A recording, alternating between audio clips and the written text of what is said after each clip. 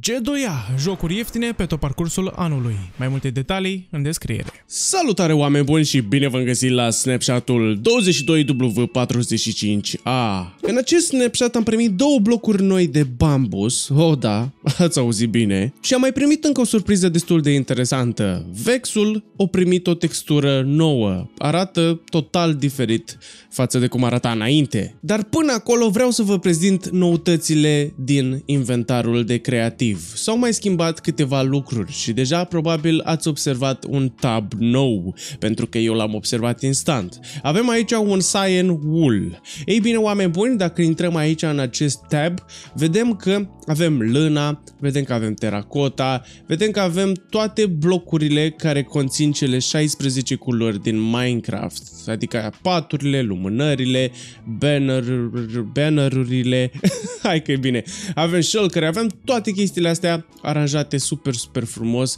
este chiar incredibil de bine. Înainte erau plasate aici la building blocks, dar acum la building blocks, după cum bine vedeți, este puțin mai curat, pentru că nu mai există aceste blocuri blocuri, este separată treaba și mi se pare că este perfect. Deci inventarul ăsta de creativ devine din ce în ce mai bun. Am intrat aici la Functional Blocks și am văzut un banner și după cum ați văzut, bannerul se găsește și la Colored Blocks. Hai să ne uităm puțin, l-am luat de aici, vedeți că nu scrie nimic pe el, dar l-am luat de aici și vedem că scrie aici în felul următor. Acest banner aparține la dou- de două taburi, adică aparține și la Colored Blocks și la Functional Blocks. Asta nu era înainte, dar mi se pare interesant că îți arată unde îl mai găsești acest banner, adică îți arată că poți să-l găsești și aici la Colored Blocks. That's nice, I guess. Hai să vedem lemnul. Punem lemnul aici, vedem Building Blocks și Natural Blocks. Oh, uite, acum am observat textura de la Bamboo Raft, adică de la pluta de, de bambus, s-a modificat puțin. Înainte arăta foarte dubios, acum arată puțin mai ok, sincer. Dar da, de, de, de acum am observat-o. Voiam să vă zic că aici la Redstone Blocks s-au pus cele mai Mm, utile blocuri pe care le folosești cel mai des. Le-au pus cât mai sus și celelalte le-au pus puțin mai jos. Ce mai era? Mai era la Building Blocks s-au adăugat Oak Button și Pressure Plate-uri, ceea ce nu era înainte. La Functional Blocks am primit toate luminile, ceea ce mi se pare super șmecher. Uite cum sunt poziționate toate ca lumea. Sunt fix primele. Dar dacă mergem aici la Redstone Blocks, Hei, unde, unde sunt alea de care știam noi? Unde-i uh, minecart-ul cu comment block? Unde-i command block-ul? Unde-s uh, light blocurile și toate chestiile alea șmechere de care ziceam eu? Hmm, ei bine, dacă vreți să obțineți acele chestii, trebuie să intrați aici, la opțiuni, după la controls și avem aici operator items tab și este automat setat pe off. Ei bine, dacă îl activăm, dăm done, done, back to game și acum după cum bine vedeți, avem încă un tab. A apărut încă un tab. Acel tab cu comment blocurile, cu toate light blocurile, cu structure blocul și cu toate nebuniile astea șmechere. Și din nou, acest tab puteți să-l obțineți doar dacă sunteți OP pe server și da, Asta e toată șmecheria. Dacă nu ești OP pe server, nu poți să obții acest tab. It's, it's ok. It's really ok. Și știi ce ar merge aici? Ar merge să pună și oul de dragon, spawn egg mă refer, și oul de wither, că tot trebuie să-l dai prin comenzi și zicea cineva prin comentarii în ultimul episod la modul că, dar de ce să-mi dau comanda cu oul de dragon când pot să dau summon dragon, ender dragon, știi? Da, ai, da, da, Până la urmă, da, are dreptate, adică ar trebui puse să le accesezi mai ușor, dacă tot. O altă chestie destul de interesantă sau poate nu, acest tab se numește ingrediente în momentul de față, înainte se numea utilities sau craftables, nu mai știu exact.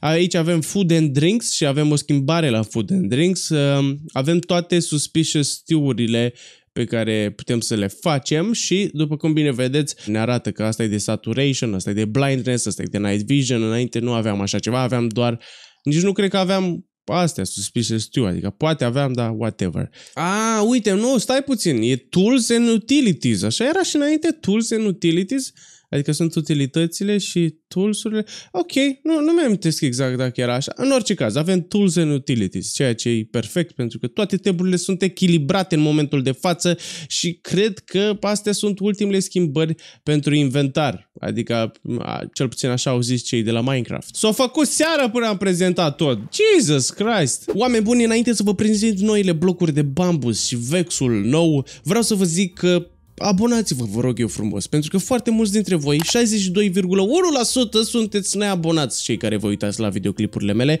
Și, na, posibil ați uitat să apăsați pe butonul de subscribe și dacă vreți să apăsați pe butonul de subscribe, eu aș aprecia foarte mult, pentru că vreau să strâng 250.000 de subscriber până la sfârșitul anului și chiar aș fi foarte recunoscător dacă ați da un subscribe și, în primul rând, ați fi 100% că nu mai ratați noutățile din Minecraft, adică dacă vă abonați, chiar, chiar vă ajută, vă mai primiți acolo o notificare, o treabă, o șmecherie. Da, asta voiam să vă zic și nu uitați să lăsați și un like și v-am mulțumit. Uh, ne, ne, hai să vedem care ce cu bambusul nou, că sunt curios. Partea cea mai amuzantă este că eu ieri tocmai am postat un videoclip când am construit o casă din bambus pentru Minecraft 1.20. Dacă n-ați văzut videoclipul, îl aveți aici. În orice caz, astăzi aflu că s-a adăugat încă un bloc de bambus și un bloc de bambus chiar foarte, foarte frumos și asta m-a ofticat maxim pentru că era perfect pentru construcția mea de bambus pe care am făcut-o ieri, dar whatever, nu mai contează asta. Hai să vă prezint uh, blocul nou de bambus. Uh, oh shit. Da, după cum uh, bine vedeți, se poate plasa ca un log, da? Adică logul putem să-l plasăm uh, așa, da?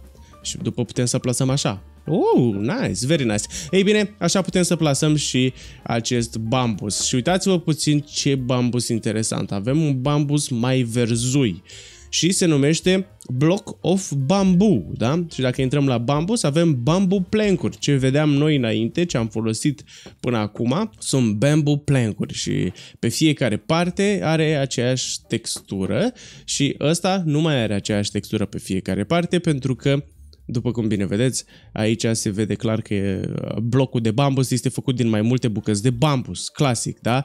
Și probabil vă întrebați, colpir, dar cum se craftează? Imediat vă arăt. Dar uitați-vă puțin că pe lângă acest bloc, block of bamboo, avem și block of stripped bamboo. Exact, și probabil deja v-ați dat seama ce urmează să se întâmple. Ei bine, intrăm aici și începem să decojim acest uh, bambus verde și o să vedeți că se transformă în bambusul ăsta. Pentru că ăsta e stripped. That's crazy. Și o chestie pe care aș sugera-o, acum știu că nu se uită cei de la Minecraft la mine, dar o chestie pe care aș sugera-o ar fi să schimbe sunetul să fie puțin mai de bambus atunci când decojești bambusul. Fiți atenți. Sună fix la fel ca la ăsta. Eh, poate puțin diferit, dar, dar nu cred. În orice caz, după cum bine vedeți, uh, această textură, acest bambus verde, are aceeași textură sus, cum este și la stript și aici poate ar fi o idee bună să schimbe puțin, să fie mai verzui cât de cât, ca să fie o textură nouă în Minecraft, adică, I don't know, nu știu dacă vor schimba chestia asta, dar interesant că există încă un bloc nou, încă două blocuri noi de bambus. Și, bineînțeles, se craftează în modul acesta. Am primit un bloc de bambus cu 9 bucăți de bambus și am primit un bloc de bambus și dacă pui blocul ăsta de bambus aici în crafting, o să primești două bamboo plankuri și dacă pui un oak log, după cum bine știți, primiți patru oak plankuri. Dar, uh, nu știu, presupun că e chestia asta că primești două, deoarece bambusul se craftează super ușor și da. Sunt curios, merge așa? Nu, nu merge așa. Voiam să văd dacă merge să îl decojește aici, dar uh, nu, nu funcționează chestia asta. Dar în schimb funcționează ca și combustibil. Uitați-vă puțin. Am făcut aici bambusul ăsta, block of bambus, se poate pune aici foarte frumos să transformăm în charcoal. Dar întrebarea mea este, pot să transform charcoal din bambus? Cu siguranță nu pot, să zic eu de pe acum, dar ar fi fost, uh, nu, n-ar fi fost interesant că n-are nicio logică. Dar, sincer, este o culoare mult mai apropiată de bambusul natural și e o idee bună totuși că au făcut chestia asta. Adică, da, da, așa da, uitați-vă, bambusul și blocul de bambus. Era puțin ciudat că era așa de luminat înainte, adică Uh, nu prea, nu prea se potrivea. nu prea se potrivea bambusul ăsta cu bambusul ăsta, știi ce zic? Dar e, e mișto că au făcut chestia asta cu decojit, o păstrată cam aceeași tehnică ca la lemnul normal. Am venit în mansion, oameni buni, pentru că după cum am zis, s-a modificat uh, textura la lei și nu numai textura, chiar și forma lui este puțin diferită față de cum arăta înainte. Hai să vedem. Am spawnat aici un Vex fără AI ca să nu se miște în toate direcțiile, credeți-mă, se mișcă ca nebunii ăștia. Ei bine, un Vex normal are și o săbiuță în mână, așa că o să, o să scot și un Vex normal și sper să nu se ducă jos. Oh, ba da, se duce jos. Clasic, clasic. De asta l-am spawnat fără AI. Aha, aha, that, that's crazy. Uite, are, are săbiuță în mână. That's, that's nice. Uitați-vă puțin cum arată acest Vex. Mie mi se pare că arată destul de mișto și cred că vă dați seama de, de unde s-au inspirat băieții cei, cei de la Minecraft s-au inspirat de undeva. Oare cu cine seamănă acest Vex? Poate cu fratele lui bun?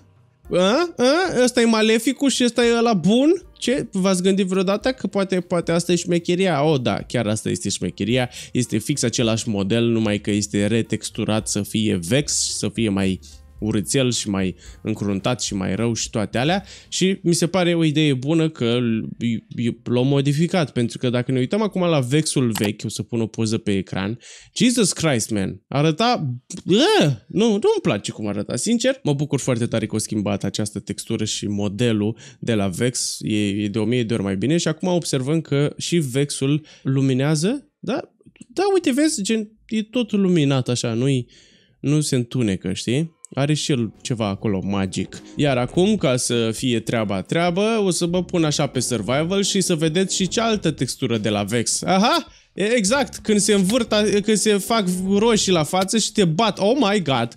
Stop, stop, stop! Nu mă, nu mă urâți! Gata, suntem prieteni. Suntem prieteni. Ok.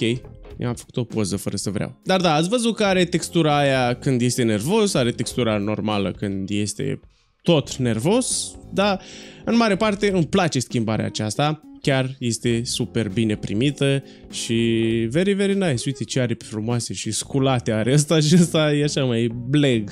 E mai bleg săracul dar e drăguț. Oameni buni, acum o să trecem la câteva bug fixuri destul de interesante și unul dintre ele este chiar foarte, foarte bine primit, la fel ca Vexul, dar asta e, ăsta e foarte bine primit. Fiți atenți. Ei bine, probabil știți că atunci când vrei să-ți muți calul Nether sau să-l duci dintr-o parte în alta și cea mai ușoară metodă este cu portalul din Nether, de multe ori se întâmpla următoarea chestie. Puneai calul aici frumos, îl teleportai în Nether și se spauna guște monsterul fix în obsidian și se sufoca și tu nu știai ce să faci și așa îți pierdeai cel mai bun cal. Ei bine, acum Cică s-a modificat chestia aceasta și calul, oh my god, ce am făcut? Ce am făcut? E cel mai pro spawn. Nici măcar nu s-a spawnat calul. Calul se spawnează în mijlocul portalului pe partea cealaltă și acum să sperăm că a venit. Mamă, dar... Ok, stai puțin, stai puțin, stai puțin. Hai, calule, du-te tu, du-te tu singurel. Du-te tu singurel. Tu n-auzi? Du-te. Du-te nether. Du-te nether că vin și eu. De ce nu se duce nether calul? Ok, I, I don't get it. I don't get it. Bă, eu nu înțeleg de ce calul meu nu merge nether. Trebuie să mă pun pe survival. Du-te, bă, nether! Du-te! Ok, cred că avem un bug. Ăsta s-a dus! S-a dus calul la nether. Bun, perfect. După cum bine vedeți, calul s-a spawnat fix în centrul portalului. Nu s-a mai spawnat în obsidian ca să se sufoce. Ok, nu înțeleg ce era cu calul ăla, era dubios rău. Hai să punem încă un cal aici. Știu că s-a și-o la damage, dacă ne întoarcem vedem că este spawnat fix în mijloc, deci da, un bug fix super, super bine primit pentru că tot timpul murea calul când mă duceam în nether cu el și de asta nu mă duceam niciodată în nether cu el. Ia fiți atenți, încă un bug fix destul de interesant, nici nu știam de el, dar fiți atenți ci că dacă aveai un prieten, eu n-am prieten ca să testez asta și de asta, știi, na, mă rog. Uh, da, dacă aveai un prieten și stătea în spatele tău, în spatele cămilei, acolo unde e locul ăla liber, cine vrea să fie prietenul meu să stea acolo, nu? Nu vrea nimeni? Ok, bine. Acel prieten putea să folosească și el abilitatea de dash, dar în momentul de față nu se mai poate așa ceva, doar cel care conduce cămila poate să folosească acest, această abilitate de dash. Deci mi se pare că este normal. Adică eu, eu sunt la volan, da? Nu, nu ăla din spate, ce naiba. Această schimbare s-ar putea să vă deranjeze pe unii dintre voi și o să vă zic și de ce o să vă deranjeze pe unii dintre voi, dar nu mai contează.